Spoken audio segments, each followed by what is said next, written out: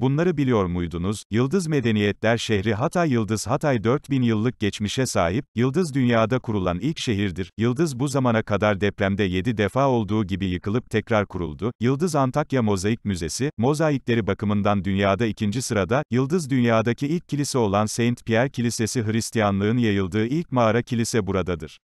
Yıldız Hristiyanlara, Hristiyan ismi ilk burada verilmiştir. Yıldız Türkiye'nin en uzun kumsalları buradadır. 12 kilometre yıldız istikameti dolayısıyla tamamıyla güneyden gelip kuzeye dökülen iki ırmaktan biri olan Asi Nehri güneyden kuzeye ters akan tek nehirdir. Yıldız fetihler dışında Müslümanlık Anadolu'ya ilk olarak buradan girmiştir. Habibi Neccar Camii Anadolu'da yapılan ilk camidir. Yıldız eski dünyanın bilinen en uzun surları buradadır.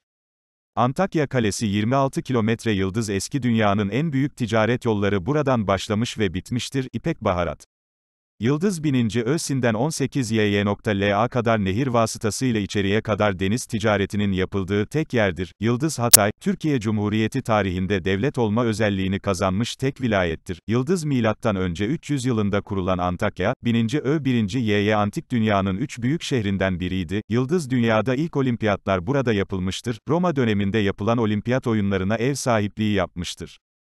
Yıldız Hatay ismi Atatürk tarafından verilmiştir sınırdaki ışık anlamına gelir. Yıldız Antakya Müzesi'ndeki para koleksiyonu dünyada 3. sırada yer almaktadır. Yıldız ilk sokak lambaları Antakya'da kullanıldı. Dünyada meşalelerle aydınlatılan ilk sütunlu cadde olan HEROD Caddesi, Kurtuluş Caddesi Antakya'dadır.